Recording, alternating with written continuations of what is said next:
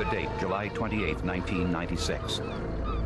The place, 60 feet beneath the English Channel off the coast of Devon, England. A fisherman was about to haul in his nets. His catch of the day would unearth a gruesome secret. Buried among the sea bass and crabs was a very...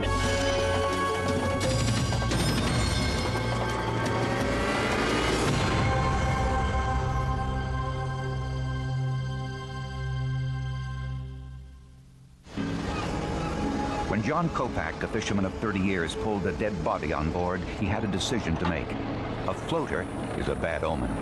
I can do one of two things here. I can pull this cod line and he goes back over the side and we go on fishing. Or we take him in, in which case the fish is going to be condemned. You're going to lose a day's wages.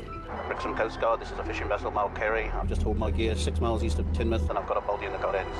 This is Brixham Coast Guard. Could you please stay at your position and we'll send somebody... From investors in Canada. He was on the verge of being caught, so he decided to flee Canada, and he took his 15-year-old daughter, Sheena, with him, and disappeared. Completely, or almost. Walker and his daughter Sheena lived together in England as David and Noel Davis, man and wife. The Canadian police were ecstatic. We found Walker. We found Walker. Absolute excitement. One of the Canadian police decided to phone Walker's wife, Barbara. And it was very simple, very straightforward. We found Albert and we found your daughter Sheena. And by the way, congratulations, your grandmother. When Walker fled to England, he began working the same investment scams as he did in Canada and hired Elaine Boys as an executive assistant. Her boyfriend was Ronald Platt. When Walker no longer needed Elaine Boy's services, he paid for Elaine and her boyfriend, Ronald Platt, to move to Canada to start a new life together. With Platt, Walker invited Platt out on the Lady Jane for a day of sailing. With a blunt instrument, Walker knocked Platt unconscious with a blow to the back of his head. Blood and hair spattered onto the plastic bag.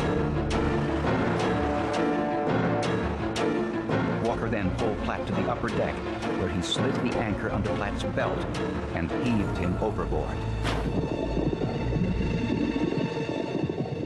Among the mistakes Walker made that day was failing to remove Platt's wristwatch with the serial number and using his boat's global positioning system, which captured the location, date, and time of the murder.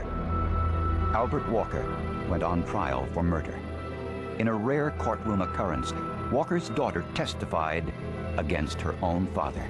At a stage in the trial, it came out in the courtroom. The boat had been used to murder him. It was really Ronald Platt who solved this case. And when he emerged from his watery grave, pointed his tattooed hand directly at his murderer, Albert Johnson Walker.